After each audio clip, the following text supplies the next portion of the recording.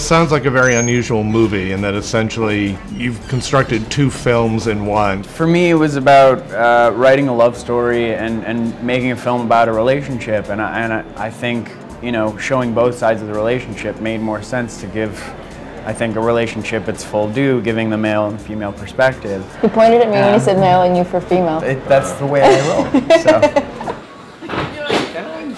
Uh, I had written him, the male perspective of it, and Jess and I were friends at the time, and you know I'd given the script to her, and she actually started asking questions about the character of Eleanor, and that sort of led to a whole discussion that opened up the idea of exploring where she goes and who she is, and you know sort of subtextualizing the his version of it, and, and it actually became a whole other project that became the two-part love story. Ten years ago, I ran up to him at the Laemmle's in Santa Monica at the Malibu Film Festival. And so when I first moved to Los Angeles, since I just seen a short film playing at the festival, and I said, I think you're such an incredible filmmaker, and I really hope to work with you someday. Can I have your information so can, my manager can send you my reel? We've had a very long friendship. You and I. It's I mean, pretty it, incredible if you think about it. I mean, we, we were you know, two kids struggling, so it was cool. Yeah, with big dreams of Hollywood. You know, it's like, someday we'll work together.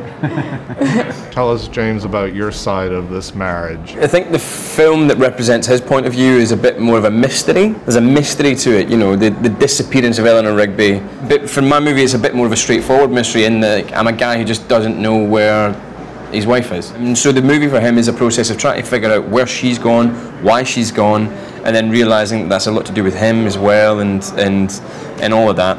But along the way, it's um, it's you know heartwarming and fun and you know all that good stuff. It's not just sad. Uh, it's really sad as well. I heard a lot of horror stories about James McAvoy, and so I was I was really concerned when I arrived on set but actually, he wasn't a jerk. Just kind of mildly annoying. Just, yeah, yeah. a little annoying. Good. But really actually generous. Thank you.